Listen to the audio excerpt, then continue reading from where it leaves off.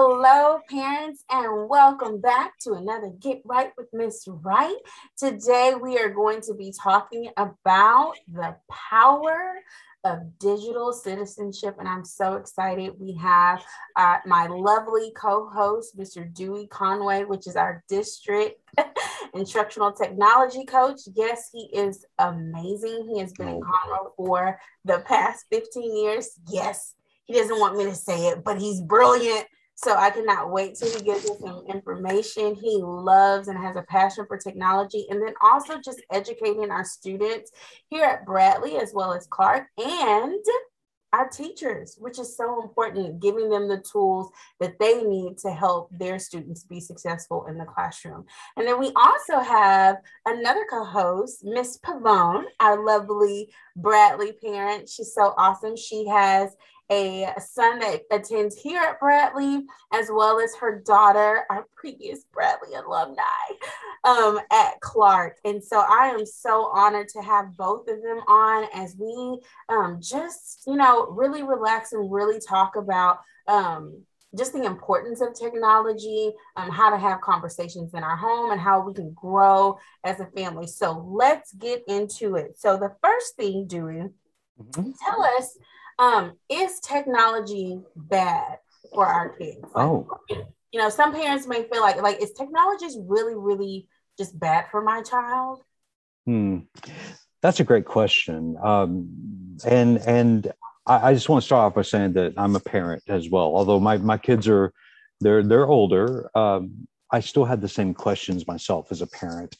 And it was is is technology or technology tools something that's uh, bad. And and i do i do want to just start off by saying that it, it is scary as a parent uh, to to kind of to open up the world of technology to to your kids. Um, i i really would like to kind of make a distinction and say that technology itself isn't bad so much. It's really what what is done with it and how how it's treated. Um, first of all today's talk is about digital citizenship and really we kind of the whole the whole purpose behind digital citizenship and making that such an important part of our technology um, application TEKS is that we want to address the question of what what is technology and and and what can my kids do with it that should be appropriate for them mm-hmm. for for their age and so really want to make a distinction here that, that technology isn't bad by itself. It's how are we using it? How is it being used to support my student, my students or my child's learning in the classroom?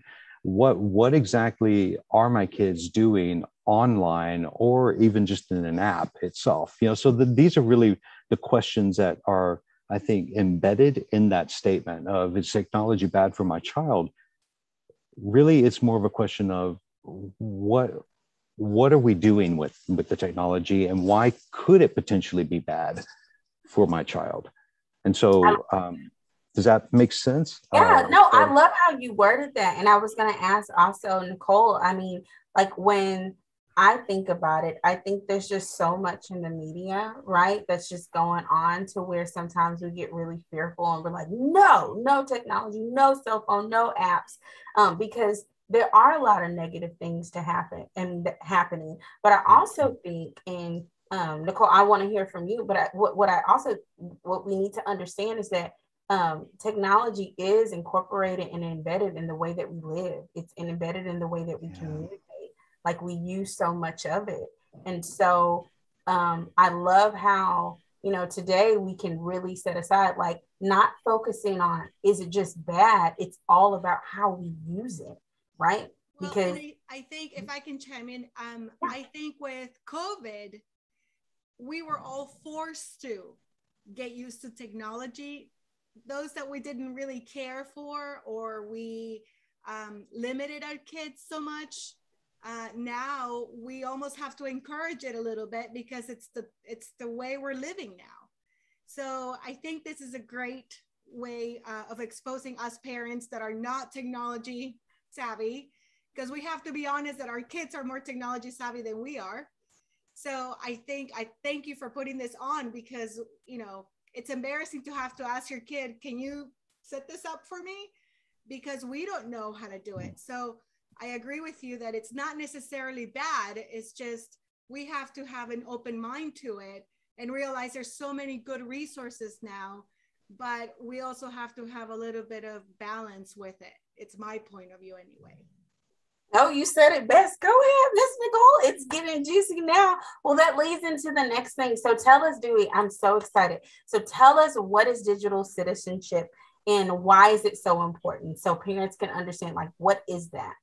So um, really with with technology, I want you to think of technology tools in two ways. And one is the kind of technology that is connected to the internet where you're in an online community, and then the kind of technology that's just a standalone software, like a game or an app or something that's not necessarily doesn't need the, the internet to function. And so when we're looking at digital citizenship, we're looking at actually both of those.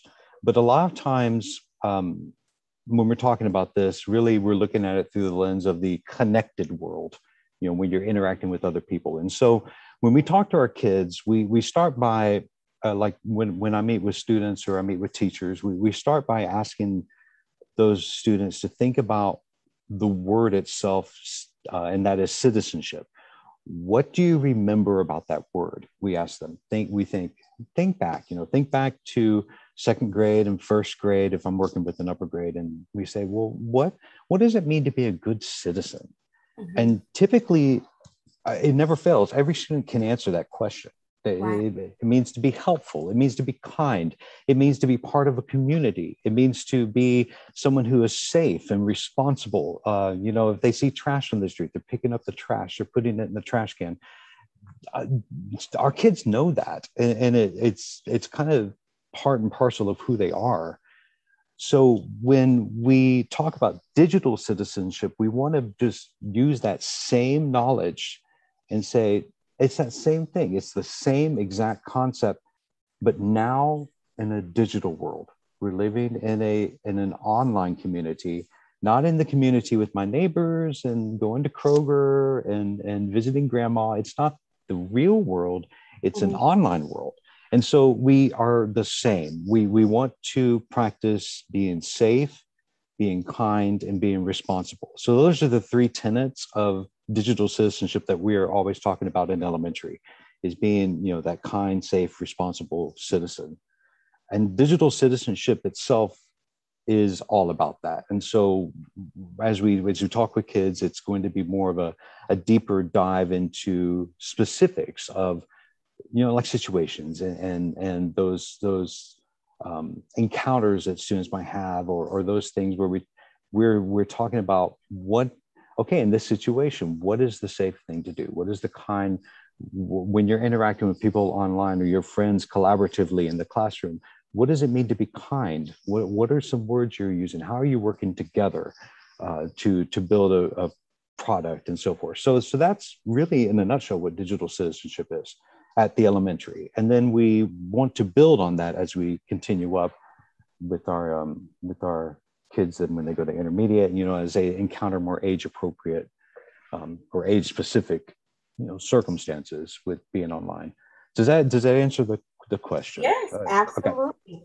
I think, you know, as I'm listening to you, um, I love how we're starting this off in elementary because I'm always stressing to people elementary is the foundation. Mm-hmm. And so, you know, I know there's so many things, you know, happening within our society, but if we can have, you know, firm foundations with these kids coming out of elementary with um, superior di- digital citizenship, just imagine the impact of the intermediates in the high school for the next years, right? Mm-hmm. I know mm-hmm. that we're starting to, you know, we've been working on it, but every year it gets bigger and better. And so it's really teaching kids to be resilient. It's really teaching kids how to, you know, um, be respectful and be kind that I'm hearing, but then also in that digital way. Because we know sometimes it's easy, you know, to send a message, or if you're allowing mm-hmm. your kid to be on the Xbox and um, I think one parent had wrote a question today um, regarding that, you know, on the headphones, how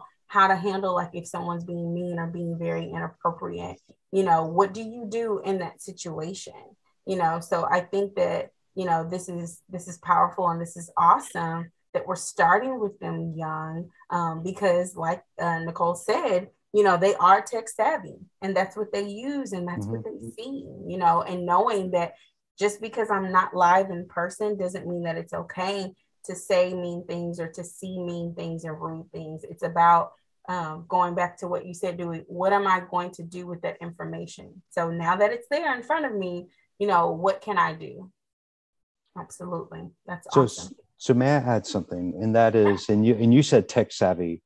Um, with we're our kids have not known a world that has not been connected to the internet. They they've grown up in a world that is that they don't know like when i was growing up you know when i would go to the park and my mom would my mom would give me a quarter and say okay call me when you're ready you know to be picked up and i would have to find a payphone and put it put the quarter. Our kids have no idea what that means. They they don't know they have no context for for that type of world that was disconnected from from each other at the click of a button or or the tap of a of a send or our kids don't know that world. And so we call those guys the digital natives. They are living in this world of this digital world that it, they're inundated every day with with technology. Because and that makes them by instinct tech savvy but there's a myth about that. And just because they're tech savvy doesn't mean that they're information savvy. Ooh. it doesn't mean that they know how to process the information. Mm-hmm. and so that's where we come in. That's where our as, us as teachers and as um, as parents are coming in to really help guide them with that. Because they may know the tools but they don't really know the tools, uh, like how to use them and how to find the information they're looking for and how to discern what's right for them and what's not right.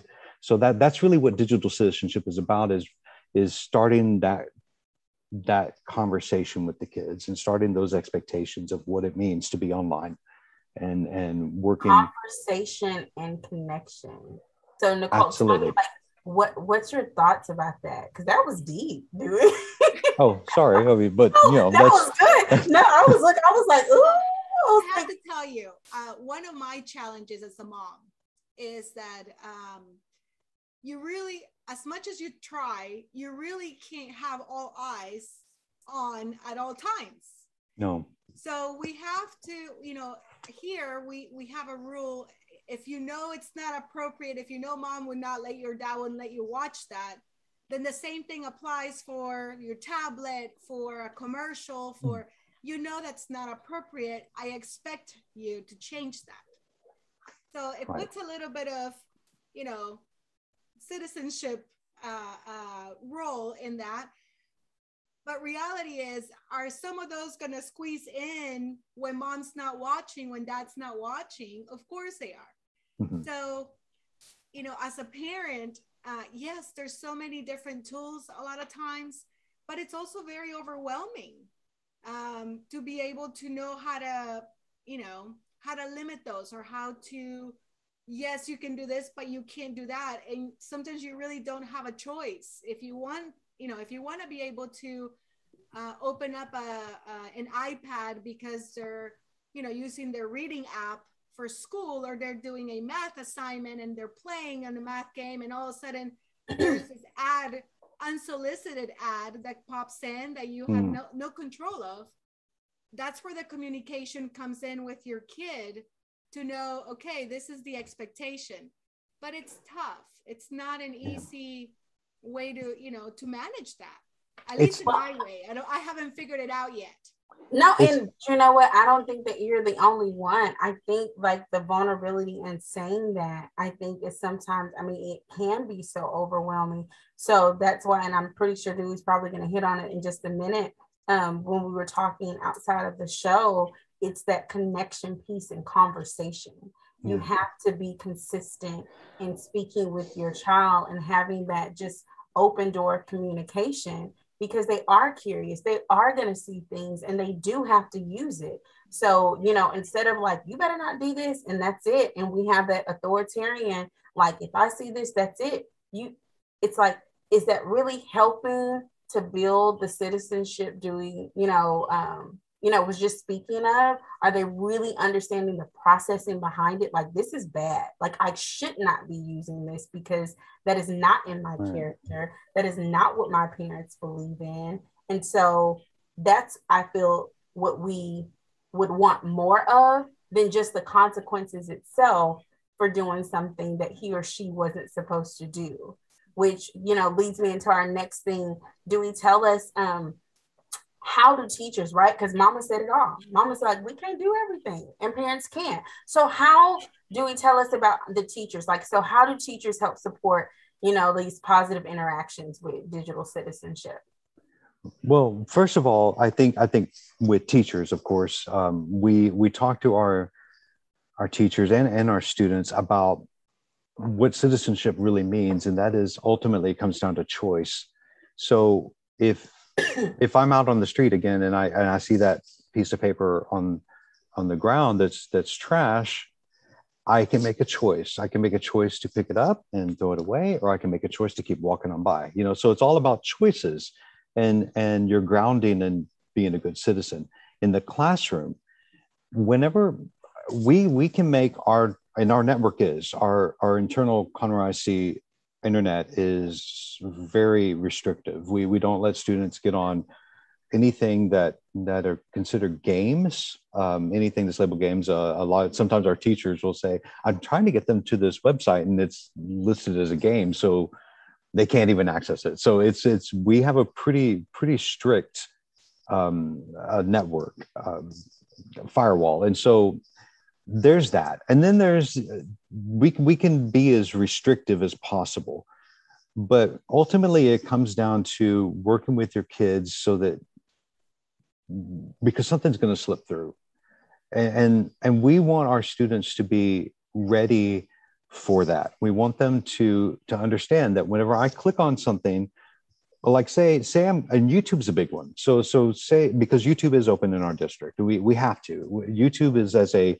as an instructional resource is incredible. It's it's incredible, but it's dangerous, uh, in my opinion. You've got you've got videos that have suggestive videos that aren't. A, you know, I might be visiting an appropriate video, but the suggestive videos on the side there might be an inappropriate one in there, or one that's not age appropriate, right. or the comments below the video may not be, you know, moderated, and they're not. Uh, so it makes me as a as an educator and as a parent, it makes me scared. You know, like oh, I don't even want to send them to YouTube. So teachers do things like we'll take YouTube and put it through like we have Canvas Studio, uh, which will make the YouTube videos safe. So it mm-hmm. removes the ads, it removes the the suggestive videos and the comments. So we do things like that where we where we still want to use that resource, but then we want to make it safe for the kids. So it's it's our due diligence to to to kind of guide our students into a safe place. We also, whenever we're asking our students to do research, we try to encourage our teachers don't just tell them to Google it. Oh, I like that. Don't just Google it. You know, we we want to provide our our teachers with uh, a, well, we have what are called safe search engines, like uh, Safe Search Kids, and we use those, which are highly filtered. So they're going to be pulling up age appropriate resources. But then we also refer our teachers to our and students to go to our uh, online. They're called online databases through our single sign-on. So TexQuest you know, uh, this campus has Pebble Go. You know, Pebble Go is a good resource. Love it. Pebble Go is great. yeah, and and the thing about the thing about Pebble Go is that I can send if I have a second grade student and I need them to be researching in a safe place. Me as a teacher, I am feeling confident that that when that student goes to Pebble Go, they're going to be safe and they're going to find good information, age appropriate information so it's it's steps like this that teachers take within the classroom to make that safe environment learning environment whenever the kids are going online so that's Would what that's what go ahead oh i was home? say it again nicole how how do we do that at home? Yeah, I was just about to say, I was like, how, like, so what would be some maybe um some sites, and I can type them after I can get with Dewey, or just off the top of your head, some great sites, like say for instance, Mama, you know, like I gotta do some research on eagles, and I don't know anything about eagles, and so you know, Mama's cooking in the kitchen, and she's like. That's it. We ask Siri or we Google and we like, you know. So that's that's the thing is that we've made our our resources available at home. All of them are. So so our singles it, the kids just have to sign in with the single sign on. Wow. And they and they go to what's called TexQuest and and we we most of our teachers have been trained with TexQuest, but I think a lot of times our kids don't translate that to the home life. You know, they, they don't go, okay, I'm going to go to the SSO and uh, just like at school and, and click on TexQuest. They're just going to Google it, you know, uh, which as an adult, I can do that. I, I can like say my family calls me and says, oh, I want chicken parmesan tonight. I, I have no idea how to make chicken parmesan. So I would, I would open up my phone and Google chicken parmesan recipes. I can I can discern what I what fits me as far as the information goes. I can say, okay, that, that seems like a good recipe. I think I can handle that one. But when a student starts researching, like say they're doing an animal research project and they're doing elephants, and they just type elephants into Google, everything comes up. Everything does. So it's going to be. It's not only elementary information, but it's going to be research papers. It's going to be uh, wildlife conservation. It's going to be uh, uh, potentially some kind of, you know, age inappropriate things, you know, that come up, you know, because of the hunting that goes on. And so we really need to make sure that we provide those resources for our kids at home. And, and when, when you're saying, when it's like, and I'm in the same boat too, when I was a parent, was like, help, what do, where do I go? uh, there are safe search engines out there, and I will get with Ashley for for making that list for sure. Uh, the safe search engines that are Google search engines, but they're designed for students. They're out there and they're really good. Like KidSmart's one, and uh, we just we, there's a there's a list of them. So I will um, get y'all the list. Don't yeah. you worry. I was like, Dewey's really good. No, but I'm glad that you said that because um, well, number one, for all of our parents, we want you to know that um, Dewey just stated, like they have these resources at home. So maybe you haven't been on the, you know, the um, the sign on at home, and all of those apps are there that are Conroe, you know, bought and utilized here yeah. on campus. So that takes some ease off your mind because it's not anything that you have to look into. They just need to sign on, and all of their resources are there. Um, for those of you that are tuning in and maybe you, you know, attend a different district, um, I will get that list out for you. But I would also tell you to talk, talk to your technology department. Like, mm-hmm. what are some, you know, safe databases or something that I could use? Um, because I think that that's really important. Like you said, Nicole, like within whatever I'm researching or whatever I'm trying to get information, and kids are curious, right? Because I just mm. thought about that too, Dewey. Like yes. sometimes they may be bored and they want to know more about being an astronaut or you know different states and different cities you know but if we provide the platform and the appropriate website for them to go baby you can just you can look up all types of things and read about it um, i think that that's a lot safer than um, the go-to like you said nicole like just google it because it is it comes natural just put it in your phone and something will pop up all right so going into next right so um, we've learned what digital citizenship is. We know that technology isn't necessarily bad, and we know it's all um, in how you use it. I love how Dewey talked about, you know, just the the, the connection piece right before we correct. Um, with consequences if my child um, looks at something or uses something inappropriately. So when we are in the school system and the teachers are teaching or you're coming in um, what are these standards that Texas has, right? Because I know sometimes parents are like, like, how does technology standards fit in the school? Like, what is that as far as um, how my kid is educated? I love that you're asking that. Uh, so the we have the technology application TEKS, uh, and the, that's every every content area has a set of standards that guides it you know so like say math you, fourth grade math you have a very specific scope and sequence. Like this week we're learning this and this week we're learning the you know uh, you know fractions and this week we're learning place value. So there, there's always a, a guiding map for us as educators. Well for technology we have that as well. With technology we're not we're not a content standard. We're a process skill standard. So so what that means is that we want to be an integrated piece into the learning in the classroom.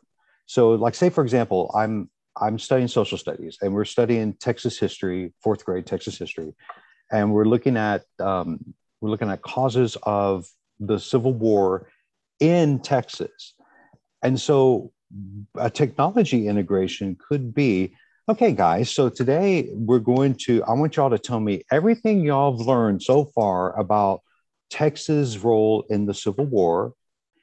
And you're going to be able to do this by choosing a Google slide. You're going to create a Google slide project, or you can go and create an iMovie uh, using our iPads, or you can do an Adobe Spark video or web page. So you're giving them choices for them to process their learning through technology. So uh, that's what our technology application teams address is how do we take what we're learning in the content and process it through a technology tool to create a product, to deepen our understanding, to be innovative about our learning. So these are all that's what that's what that's all about. You know, without getting too specific. Digital citizenship is one of these, and we have six of them. So one of the six pieces that we're looking at in our technology integration Digital citizenship covers not only being kind and safe and responsible, but it also covers how we're we're doing things like recognizing intellectual property. So, like, say I'm going to be doing a research project, I find a great picture. It's Mickey Mouse, you know, and in a you know in a Texas history, you know, or a Texas cowboy hat or something. I want to use that in my project. Well, the conversation then becomes: Do are you able to use that? You know, who is it owned by? It's owned by Disney. Does Disney let you use their images in a personal project? Maybe, I don't know, but we need to ask those questions versus just taking it and going with it. So so that's that's where digital citizenship falls also in our in our learning in the classroom is looking at intellectual properties, uh, making sure that we're safe and not handing out our passwords and you know it's so there's there's there's layers to it uh, that blend together with all the other six or the other five pieces of our technology applications. Um, so anyhow, I, I, hope that answers the question. Yes. Did you know that, Nicole? I'm like, yeah. Okay, I was just thinking we as parents need a digital um, class about that because I never thought, you know, I needed to ask Disney to use Mickey Mouse on my invitations for a birthday party it's not things that we think about. Well, just, you know, that kind of train of thought does not come to the regular parent. And, and you know, you're using it and all. It's it's you don't don't feel bad about that. But we want we want our students to know that it's if it's not yours, it belongs to somebody.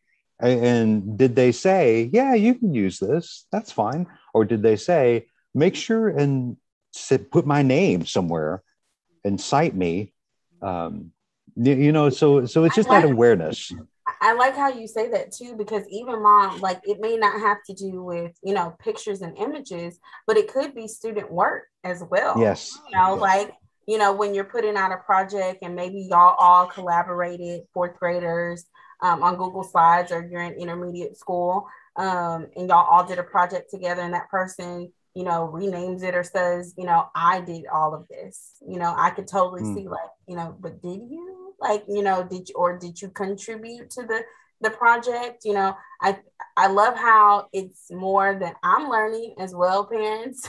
while I'm sitting up here as the counselor, um, the processing behind it. Like, wow, do it. Like I never and I'm being honest, like I've been in education for 13 years, not to dig that deep um, into yes, you know, like we're not just writing essay papers, like there's different ways to process information. And so technology is doing that, but it's doing it with fidelity and making sure that kids are being genuine and true you know, with whatever they're putting out or whatever they're learning or whether, uh, whatever they're, you know, accessing. This is this is amazing. Well, but I will say also, and thank you, but but I will say that it comes down to repeated practice too. So the teacher teachers really need to con- reinforce it constantly. So so and it all just depends on on what you're doing. But when you're going in and doing a research project, it's always about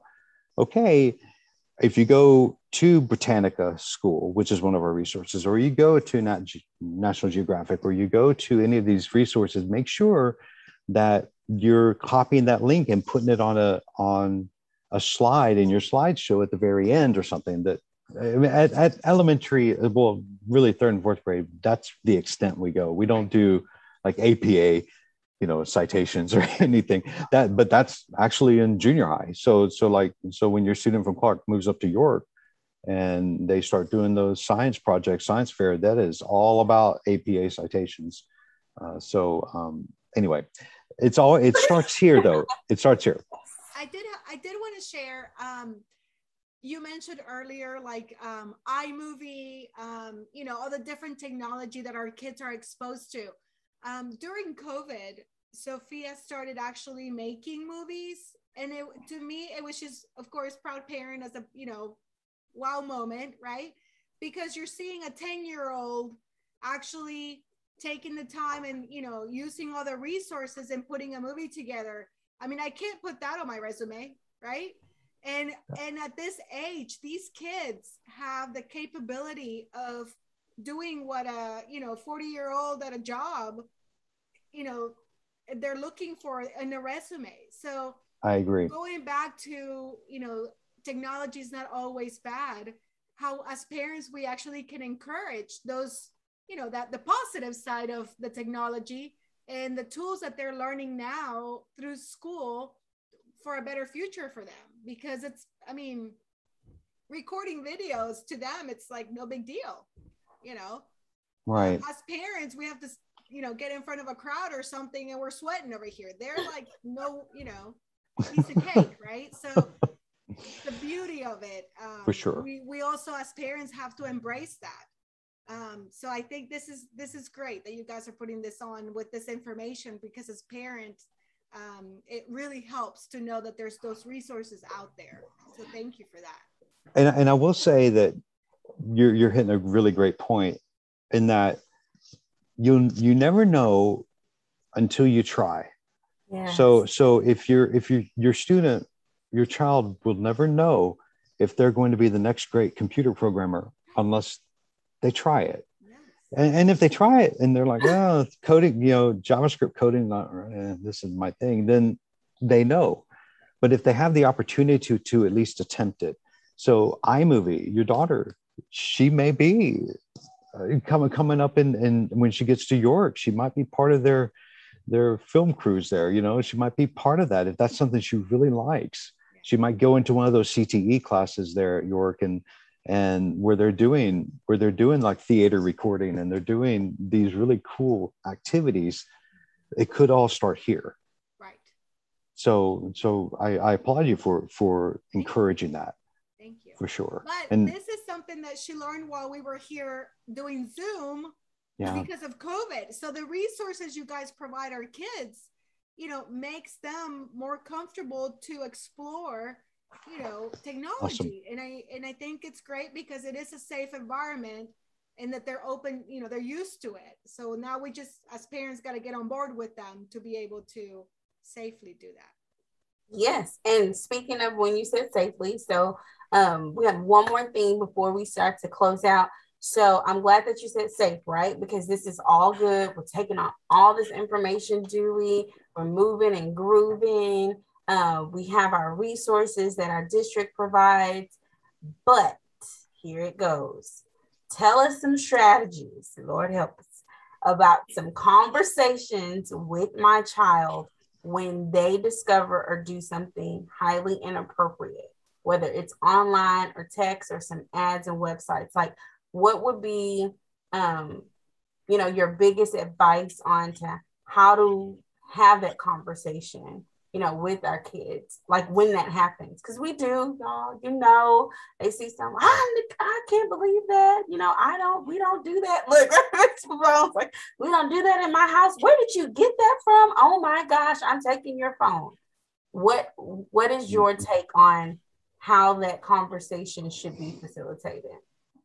That is a really great question. And I think it comes down to a couple things. And that is first of all, as a parent myself, it is really scary when when your daughter gets a text from some random stranger or you're or you're or they're getting into a, a, they watch a video that's you know rated r you know like the latest horror movie or something. It's just so gut wrenching you know? And and as a parent you're like what do i do? And and that reaction that you want to have which is just give me that. I'm just going to protect you now. So give me that. It's, it's not worth it, you know, and you put it, you put it away. That really, it's like with anything. When, when you, when you, when you restrict, when you make such tight restrictions on things and especially with something that is pervasive, it's constantly something they're exposed to. Mm-hmm. You know, when when they leave your house, they're going to school, and the kids there are going to have their phones or they're going to have whatever. You know, so when you restrict your your your students or your your child, you just have to be very careful in that it really shouldn't be a restriction so much as a as a as a conversation that begins so it becomes a it becomes one of those moments of because uh, really 99% of the time your child is not doing something to be bad. It's accidental usually. Something happened or they're just a, something scared them and they're they're afraid to talk to you about it or they come across an ad that that like is completely you know it it's appropriate in an adult world but in a child's world it's completely inappropriate and they're just afraid. The biggest piece of advice i can give is setting down your child and telling them the reality of things. And that is that this being online is a it can be a scary place. But you have to know that anytime you encounter anything that makes you feel uncomfortable you have to tell me. You're not going to get in trouble. It's just because i want to be here to protect you. That's my job. My job is to protect you. My job is to raise you and to be that person for you so don't ever be afraid to tell me. And when that that door opens up, because what happens is this: I get I get a lot of questions about what are some what are some apps that I can buy that are going to help me monitor my child's phone, or what what are some things I can do to restrict access to whatever. And those are all fine and good. You know, you I had I had it myself with with my my daughter and and son. Um, we we had something that we paid for just to kind of monitor and be safe ourselves. Those are not bad options, and you can Google all that, you know, and find find that information. But what is bad is not explaining why to your child. So if you're putting if you're putting an app on your child's phone to help monitor and be safe yourself and to monitor safety because things happen, you know, if you don't have that conversation with your child and say, look, I, I, I do trust you. It's not that. I want, I'm, we're putting this on because the online world is a big world and we want to be safe and make sure that you're safe. And so that's all this is for. It's not that I don't trust you. It's that I do trust you, but I, it's my job to keep you safe mm-hmm. and to, and to make that clear to them that you're not just, I'm not, I'm going to be monitoring you and keeping track of you and all this. I don't. It, that's where it becomes dangerous. Is is if you if your child feels like you don't trust them, then they're not going to come to you when it when the big things happen. You know. Uh, so really, ultimately, that's that's my biggest piece of advice: is really build that trust with your child and just be honest with them and say anytime you come across something come show me we tell our teachers that when with here in, in the classroom our students if we can't block everything. And if they open that Chromebook and they're doing research and then come across an inappropriate ad, we say to them, please make the choice of closing the Chromebook and letting your teacher know. I tell the kids here, or like whenever I was meeting with third grade uh, this year, and, and previous years I met with third and fourth on, or second to fourth on digital citizenship. I would say, if you see me in the hallway and you're not comfortable with something, you come and tell me. You, you know, tell an adult you trust, but don't just don't hide it or don't be afraid of it. Do you have to trust us? We're, we're here to help you. And so, as a t- parent, that's really what I suggest. I think you said it so beautifully. Like, I couldn't say it any other way. I think it's all about the trust. You know, they are our children. And so, even with students, I'm like, you want to leave that door open for communication because mm-hmm. parents, I know you may take things away. You may say you'll never get it back. You can't do this. There is always, we are in a public school system. There is somebody that has some type of gadget, you know, and I would just hate for one of our kids to feel like, well, my like to hide, you know, and just be like, well, my mom doesn't, my parents didn't let me do it. So like let me look at my friends, right? Mm-hmm. And even when things happen, like you said, Dewey, just you know, and stuff does happen. Sometimes kids get caught up just because their best friend is doing it and somebody's doing something on Snapchat. Um, but even when they see something inappropriate that a friend sees, you know, Nicole, I don't, um, I'm going to give you the floor to say a couple more words, but you know, I'm pretty sure you would want your your kids to come to you and say, "Mom, like, you know, my friend was showing me this, and I felt a little uncomfortable, and it's not right." Like, to have that conversation to know like mom like should i say something or what do i do in that situation because the friend's going to show it again you know but like do dewey said at the very beginning we want to teach them what to say how to respond um, and then how to use technology how to move from whatever that you know they are you know accessing and so we want to establish that trust but go ahead nicole i um one of the things that we try to do at home is exactly what Dewey said. It's to build that, you know, trust between mom and dad or, you know, uh, kid, I'm sorry, mom and kid, and say, you know, even if you know it's something you're not supposed to be doing, I rather hear it from you because if you tell me what happened, then I can help you. But if I don't know about it, there's nothing I can help you. Then you come, there's consequences that happen. It's too late. So if you come and tell me up front, we'll have the conversation and I'll be completely honest, you know, age appropriately uh, at that time to touch on those top topics. Um, it's scary for a kid to think I'm going to get in trouble if I speak up. Yeah.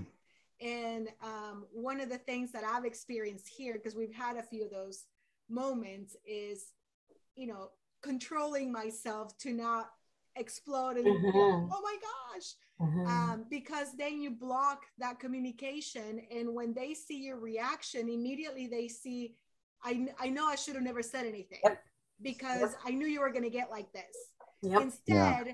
you know as the adult trying to keep cool right not easy but it's doable and be able to get feedback on that conversation and on the facts because even you know I always say, even if you're at fault, it's okay. I just want to know the truth because the truth is what protects you. If if there's no truth there, you know, there's there's a, a missing piece, there's a lie in between, then there's going to be consequences that could, you know, potentially hurt you or whoever's involved. So as a parent, my job, like you said, is to protect you. I won't be able to do that if I don't know about it. So exactly. so far so good, but uh, you know, as they get older, it obviously challenge. You know, it can be challenging. But I think setting those um, boundaries from earlier on is important because they they will come clean, or they will at least you'll get some of that information that as a parent you're able to expand and and know what's going on with them, and maybe what you should have more conversations of um, to keep the kids safe. Awesome. It's, it's not easy. No. It's not easy. And, and that's, but if you have that groundwork established, like you, you, it sounds like you've done, which is creating that, that layer of trust when they get older, when they go to junior high, when your students go to or your children go to high school, it, it does get harder.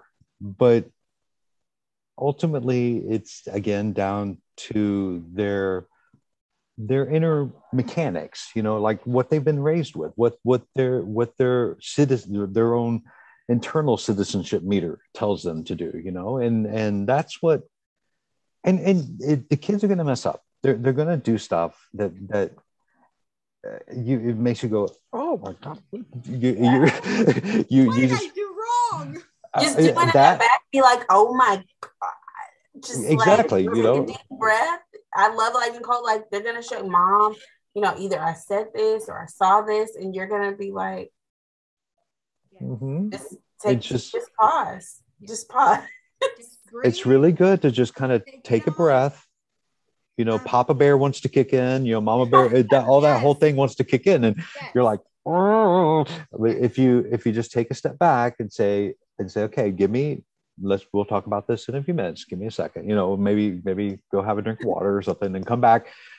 And the next part of that discussion, if this if your child is like, they know better, and you know they know better, and they they don't need that message anymore then the next question is why what what made you right. make that choice what what what drove that choice and then if they say well my friends are doing it and then you start asking them what why was that important to you that mm-hmm. what your what your friends were doing is something that you felt you needed to do too when you knew that it was you've told me this wasn't right so you knew that but yet so to have them start thinking that as you get older you they start it becomes more complex that way where where you have the whole friendships from part you know the peer pressure essentially. And just if you have that foundation work then it should you should as long as you can stay calm as a parent. There, you know, there was um there was a video there was a commercial i don't i don't remember actually who played it but there was a commercial about this um girl texting this boy that had the picture was so cute and handsome and they were meeting at the park and all of a sudden they show up and it's an older guy and they're throwing this girl in a van. Um, I think, you know, that type of video, it's so realistic. Not necessarily that that happens in a, you know, every, right. you know, for every conversation they have online, but I think, you know, at any point, a video like this, it's totally appropriate to have that conversation with a kid, no matter the age, at least in my point of view um, because I think that kind of opens up their idea of, am I being safe when I'm texting back somebody that I don't know? And it, it kind of brings them back to that scenario. Um, yeah. Not that I want to be my, you know, have my kids scared all the time. It's just I think that it creates some kind of awareness uh, for, wait, am I? Is it okay for me to do this? Yeah. So, and, and as you're exposing them to those kind of things as well at home helps. So whenever they outside and they see something like that it's easy for them to recognize. And that takes an honesty as, as a parent too to be with yourself say am i ready to have this conversation? You know because that, that's a that's a tough one. Uh, now i will say as our as our as our students move up in the grade levels we do address things like cyberbullying and we address things like this where we're uh, texting and strangers and all of that. So it's just in the elementary we keep it pretty pretty safe you know. Um, really we start that in fifth and sixth grade the cyberbullying message. But you um, know what?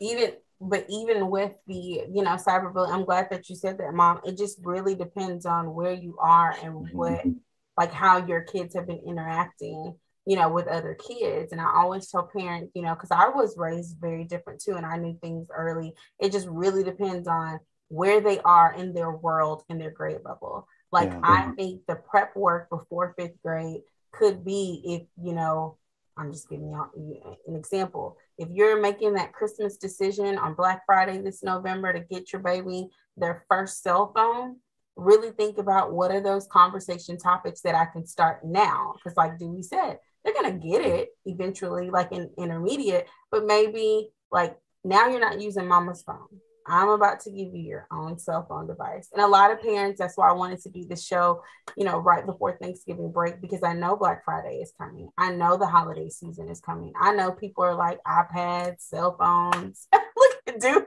Everyone's like technology craze.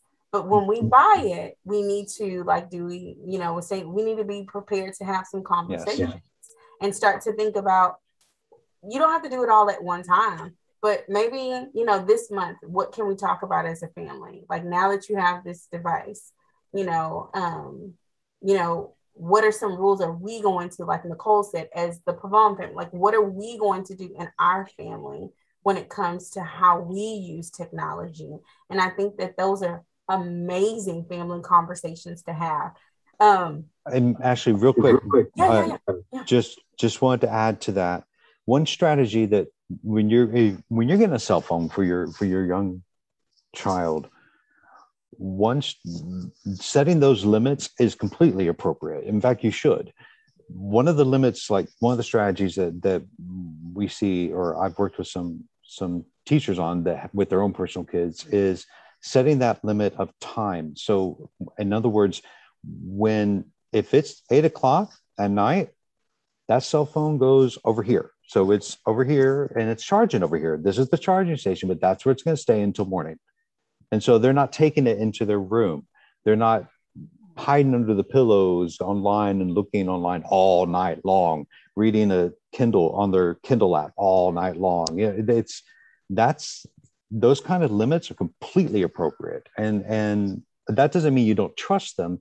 It's you're setting that limits that limit for them that that expectation of at eight o'clock it goes over here just like at eight o'clock you're gonna you know or 8.30 you're gonna go take a bath and brush teeth you know it's all part of that same routine so um, just wanted to kind of point that out is that with it's okay to get them cell phones but again ashley was saying have that conversation and okay. and set those limits and it's just it's it's okay I'm glad you said the setting the limits because I was getting to we had um a, I've grouped some of the questions together because they were like the same thing. So we'll go ahead and just really quickly touch base on okay. um, the only thing that we didn't um, talk about. And Dewey already said um, someone was like, um, how long should my um, child be on a device? And so mm. I think hmm. it goes with the setting the limits. Um, I think it has to be age appropriate looking, you know, at the mm-hmm. age of your kid. And I know that there's like different charts and different graphs that kind of give you advice and mm-hmm. recommendations. Mm-hmm. Um, but um, I didn't know if you wanted to say one more thing, Dewey, but I do think that that's important to set limits, not just give them the device, whether it's an iPad or phone, like have some, you know, boundaries with what that looks like. Cause the, oh, and because of the screen time too, like how long should my kid be on? For. See, that's the thing is that you're you're you do need to set those limitations for time. If you're and what's interesting is you know I work with teachers here and um, we with like kindergarten and first where they're still developing those mo- fine motor skills of writing and so forth. So we don't we say don't use iPads only whenever we're learning our, our, our phonics skills or whatever, we need to have that paper base. We need, because our students are still developing those skills or the, those, those physical skills. It's the same with iPads. If your, if your child is glued to an iPad or an iPhone for hours on end, they are missing out on everything else that they need to to be a well-rounded human you know as and as a child you know if your child needs to spend just as much time outside they need to spend outside get the hands in the dirt feel the dirt you know pick up a worm. It, it, i don't know how you feel about that as a parent but student kids need that. They need they need to run and they need to jump and breathe and uh, the fresh air. And all of these things are very important for them but they can't do it if they're on an ipad all the time. So so setting that limit of saying, okay, so seven to seven thirty is there you go. So if we're if we hit the dinner and you did you put away the dishes, you know, seven to seven thirty is your open iPad time. You can play a game. That's what you can do. So so you do make it part of the routine. But as far as numbers go, st- children really should not be for uh, think of like TV. They shouldn't be watching TV for hours on end. You shouldn't be on an iPad for hours on end. No child I know can sit through a movie without having to get up and move. You, you know, they have they have to get up and move because developmentally they're still develop they're they're still needing that. Oh, they need to be a child. They need to be young. They need to be a child, and the technology is only a part of that. Yes. I, I hope that makes sense. And No, it it's makes not perfect- okay. chime in on that? Uh, just Absolutely. Real quick. Um, I saw a situation where a parent would not allow technology for their kids, like their Xbox or their, you know, video games. No, none of that, including their iPad during the week. Mhm. But then they could have it Friday night and the weekend. But these kids come came in Saturday. They were like glued to that thing. Like you could not. no. They were not interested in playing. They were not interested No. because they're so um, looking forward to that Saturday that they can get their hands on. I think that it's a better strategy to have a little bit more flexibility, even if it's during the week, but perhaps, you know, an hour or 30 minutes or whatever the age appropriate could be, but Mhm. not limit it or not take it away completely because all you do, it's almost like they want it more because of because they can Mhm. have it. It's the rubber band effect. Yes. You know, you go whoop, boop, and then you when when when you're you're stretching Yeah, and like restricting. candy, you know, like Yeah. no candy, and then all of a sudden they want to They to over like overly indulge. over yeah over overindulge because they can't have it. So I think you know a little bit of balance. Um, Absolutely. safe.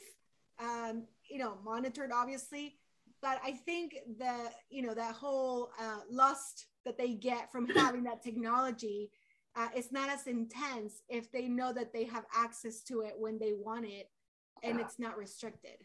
and I will say, even if they're if, if you if they're on if they're allotted their one hour and then it's time for them to get off, and you're like, okay, guys, we're gonna go outside. I want y'all to go outside, and they're like, ah, and they're, they're throwing a fit.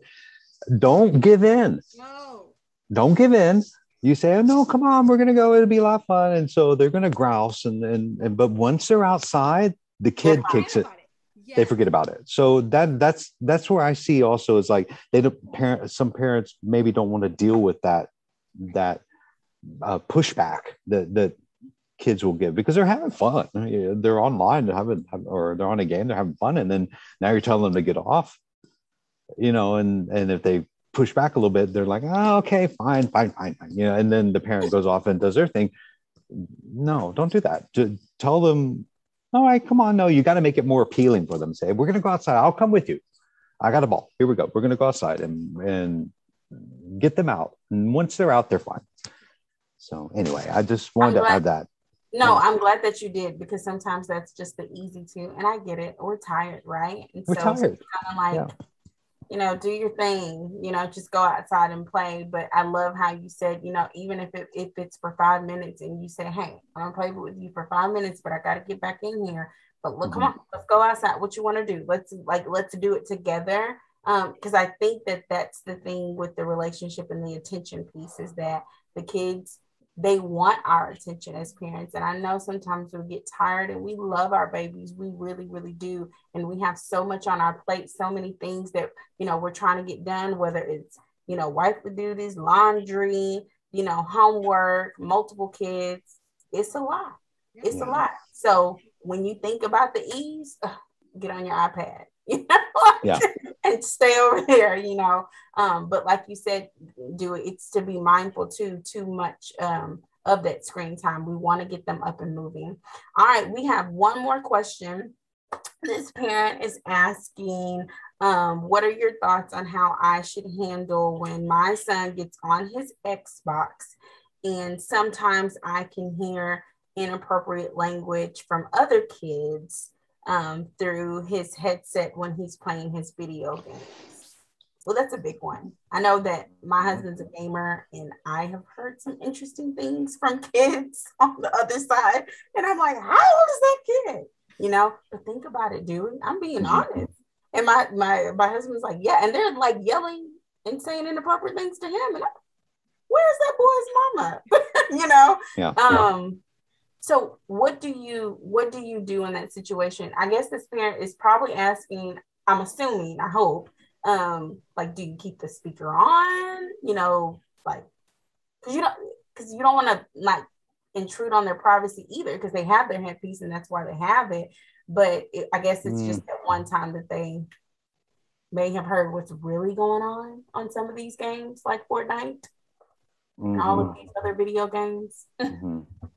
You know, um, that's that's one that's encountered more often than than you think. Uh, the the thing about Xbox Live and, and, going online and playing there, or going to Fortnite, or doing Roblox, or any of those, is that you run the you are interacting with people you don't know potentially, or you're interacting with um, with like your friend's older brother or or something. And so so you're not always with your own peer group with that mm-hmm. one.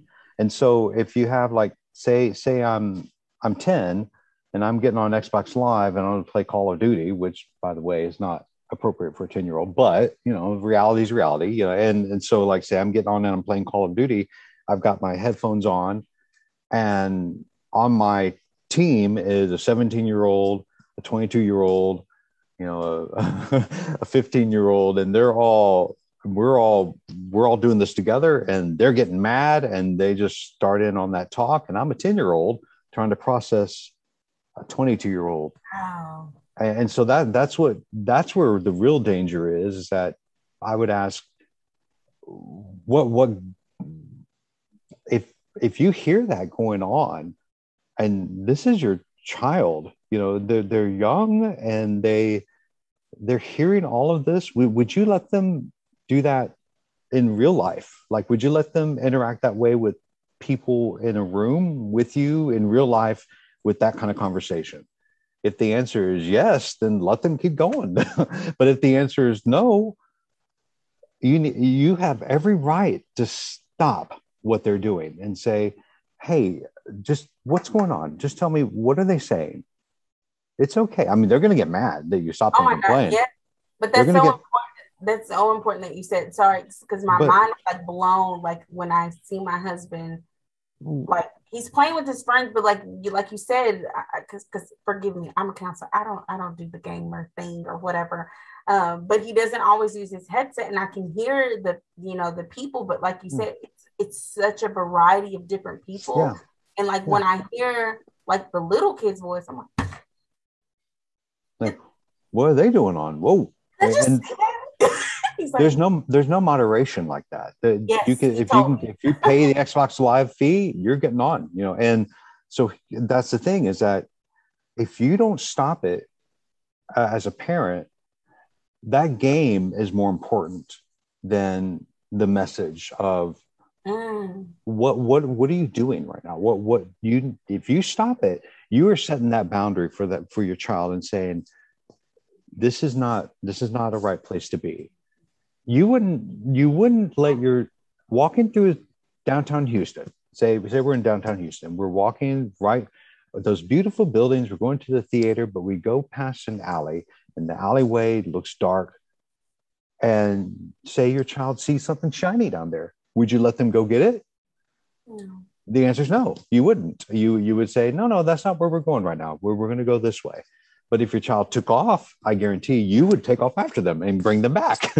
you know, as, as so it's the same concept. If your child is listening, if you hear them, if you hear something going on and you're like, whoa, whoa, whoa, no, no, no, you have every right to stop that situation because that game is not as important as your child's well-being and, I'm just saying as a as a as a parent, I'm talking as a parent. parent.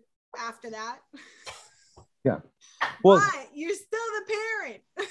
well, they, they and they get mad. They're going to throw a fit, whatever. I, but I I would rather that happen Absolutely. and be have peace of mind knowing that I have set a boundary. Yeah. And that boundary is that you are more important to me than that game yeah. that you're playing. You are. And I'm going to risk making you mad right. And pull you off that game because I want you to be safe. I want you to be in a place that's appropriate. and hear appropriate things. And that's not appropriate. And and then have them tell you was that appropriate? They're like no but they're making me mad you know they start crying and that's okay. They do. Yes they do. That's, o- that's okay.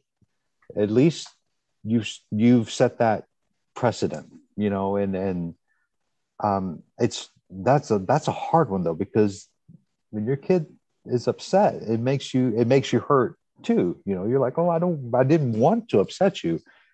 But anyway i, I hope that's a that's no a, i hope i love this is like the first time mom i like i just love you know dewey's compassion and and and i think it's healing to other parents that may have felt like they've gone through these situations right and like nicole just blatantly just said it like you're gonna be the bad person sometimes like yeah. you're gonna be the i hate you you never let me do anything you know?